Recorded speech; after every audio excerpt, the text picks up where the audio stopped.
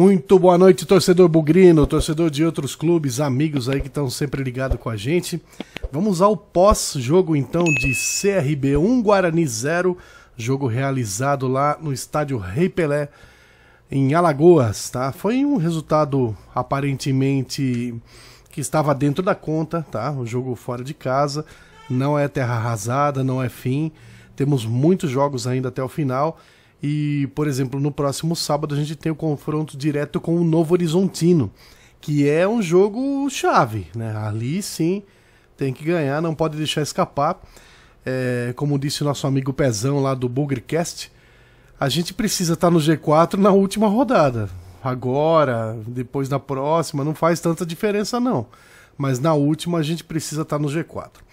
E vamos falar então um pouquinho do jogo que o Guarani foi derrotado lá nas Alagoas depois de cinco jogos aí, né, sem perder. É... O Guarani segue com 50 pontos, né? Demais resultados da rodada, a gente vai ter que saber ainda se o Guarani ainda vai permanecer no G4 ou não. Por exemplo, para o Guarani sair do G4, o Esportes tem que ganhar, o Novo Horizontino tem que ganhar, e o mais difícil ali na minha opinião, né, que é o Juventude ganhar do Havaí é, lá em Santa Catarina. Então aí já é um pouquinho mais puxado. Aí sim o Guarani sairia do G4, mas mesmo assim continuaria com todas as possibilidades de lutar até o fim do campeonato, inclusive não só pelo G4, como também pelo título, mas vamos deixar o título aí em outras circunstâncias. Vamos pensar primeiro aí no G4 para a gente subir para a Série A. Bom, o jogo foi truncado, ó, Fala real, foi um jogo feio, rapaz. Deu um sono. Deu sono no primeiro tempo, deu sono no segundo tempo. Jogo horrível, tá? Para ser riscado aí da nossa lembrança. Bom, o primeiro tempo começou com o CRB vindo para cima e só teve dois lances assim perigosos, né, no, no primeiro tempo, que aos 21 minutos o João Paulo levantou uma bola a, ah, na área aí pro Anselmo Ramon que cabeceou no canto direito e aos 27, Guilherme Romão também finalizou, mas parou na boa defesa aí do Pegorari. Então, dois lances do CRB. E o Bugre teve resposta efetiva somente aos 42 minutos do primeiro tempo, com o Diogo Matheus, que recebeu o bom passe de Bruno José e finalizou ali pertinho da trave. A bola passou no cantinho e saiu. Aos 43 minutos, Bruno José, que chutou colocado de fora da área, e o Diogo Silva espalmou para fora. Outro lance aí do Guarani. Jogo igual no primeiro tempo, para 0 a 0 mesmo.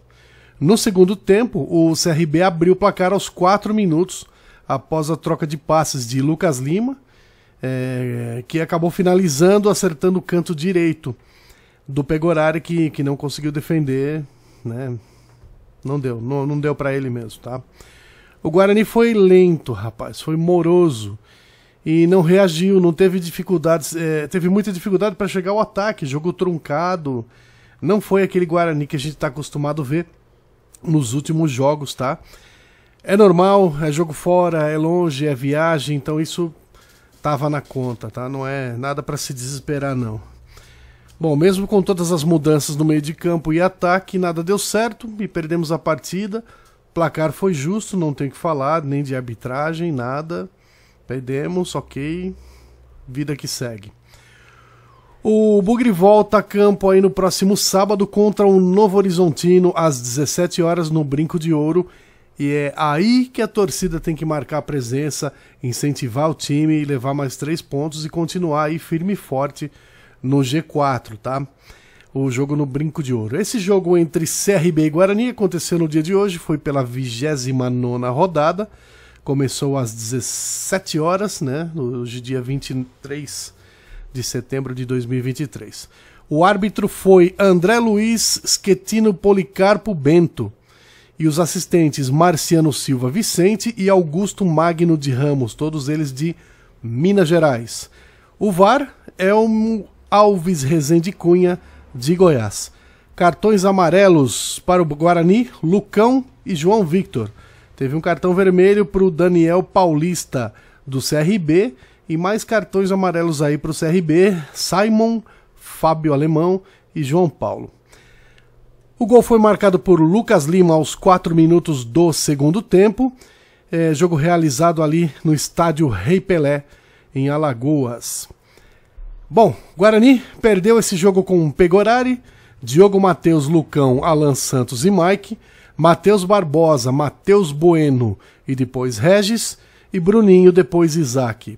Bruno José, depois Pablo Thomas, Derek, depois Bruno Mendes e João Victor e depois Iago Teles. Voltamos então na próxima semana, sabadão, Guarani e Novo Horizontino no Brinco de Ouro, 17 horas, sábado, um horário bem legal, porque antes estava sol, muito sol, muito calor, ficou difícil, a diretoria foi super é, sensata e jogou o, esse horário aí para 17 horas, que vai ser bem legal pra gente. Galera, vida que segue, Guarani tá aí na briga, tá lá em cima, vamos incentivar o time, vamos para cima e vamos aí de volta para Série A, onde a gente tem que ficar e nunca mais voltar para outras séries aí, tá? É isso, muito obrigado a todos aí.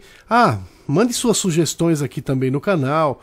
É, se você está concordando com o que eu estou falando, se não está, mande aí seu comentário, é sempre muito importante para a gente. Não se esqueça de se inscrever no nosso canal, é, compartilhar, curtir, fazer aí, é, divulgar para a gente subir, para a gente crescer, junto com os demais canais que a gente apoia também.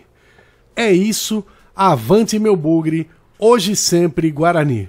Até mais, galera. Fui.